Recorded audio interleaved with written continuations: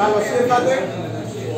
Η σημερινή βραδιά είναι μια συγκεκριμένη, Γιώργη, του Συλλόγου. Το θυμάσαι από παλιά, σαν παλιός πρόεδρος.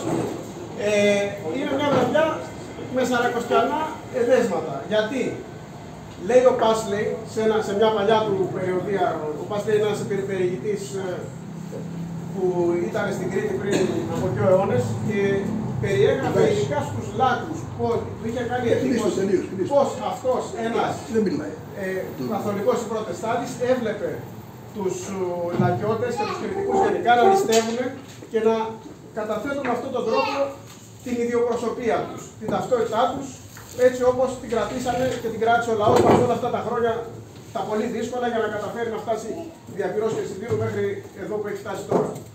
Έτσι λοιπόν η παράδοσή μας έχει και διατροφική πρόταση, αυτό λέμε σήμερα, και σας καλωσορίζουμε. Είναι Σαρακοστή, σε λίγο σημώνουν το Βαγιόν, σημώνει και το Πάσχα. Καλή διασκέδαση να έχουμε.